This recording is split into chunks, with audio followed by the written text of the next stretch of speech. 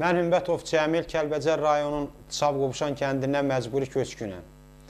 2015-ci ilə qədər Tərtər rayonunun Bəyimsərov kəndində məskunlaşmışdıq. 3 ailə, 3 otaqlı bir evdə yaş yaşadığımıza görə, yaşamaq mümkün olmadığına görə mən Bakı şəhərində fəhləçiliklə, qohumların, qardaşın köməkdarı ilə 2 sot torpaq alıb iki gözlü bir ev tikmişəm. 2015-ci ildən də burada yaşayıram. Mən dəfələrlə Qaçqın və Məcburi Köçkünlər İdarəsinə müraciət elədə, eləsəm də devlətin qaçqın və məc qaçqınlara və mə məcburi köçkünlərə etdiyi kommunal kommunallardan istifadə eləyə bilmirəm. Bir ildir mən bu kommunaldan istifadə eləyə bilmirəm. Bir ildir mənim kommunalım hara gedir, harada heç ondan onu da bilmirəm. Dəfələrlə Qaçqın və Məcburi Köçkünlər İdarəsinə müraciət etsəm də, hər dəfə bir bəhanə gətirərək məni oradan uzaqlaşdırırlar. Torpaq yaşadığım hal-hazırda aldığım torpağın qanuni sənədləri olsa da, tam qanuni torpağımın sənədləri olsa da, kommunalını mənə vermirlər. İndi də mənə evin bu buxçasını tələb evin buxçasını tələb eləyirlər. Buxçanı da almağa mənim dövlət rüsumunu ödəməyə pulum yoxdur, imkanım çatmır. Himayəmdə 3 az, körpə, az yaşlı körpə uşaq var. Mən 3 gələcəyin əskərini böyüdürəm.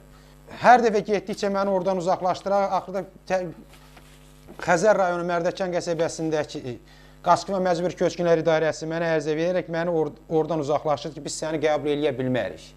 Axı nə səbəbə, nəyə görə bilmirəm. Səbəbini də izah eləmirlər. Oradan göndərir, get Qaçqın və Məcbur Köçkünlər İdarəsinə. O, oradan göndərir, get Xəzər rayonuna. Hər dəfə bu iki idarənin arasında qalmışam mən. Üç dəfə də Qaçqın və Məcbur Köçkünlər İdarəsində idarəsinin sədri Əli, Həs Həsənov müavinin qəbulunda üç dəfə olsam da, yenə də heç bir köməkdarlıq olunmur mənə. İndiyə qədər ödədiyim işığın, işığın çekləri hamısı buradadır. Mən bir ildir işıq pulu ödəyirəm. Bax, nəyə görə, devlət əgər bunu bizə şamil eləyibsə, mən nəyə görə işıq pulu ödəməliyəm? Hər dəfə də getdikcə bir bahanə gətirərək məni uzaqlaşdırırlar. Hətta orada işləyən müəllimin biri mənə nahaq gəlmişsən Bakı şəhərində yaşamağa. Get Bakı Tərtər rayonunda yaşa. Bura burada niyə yaşayırsan deyir. Qaz çəkdirməyə mənim imkanım yoxdur ki, evimi qaz çəkdirəm. Mən bu qış odun peçindən istifadə eləyərək, mən o, o taxta parçasından istifadə eləyərək taxta parçası yandırmışam.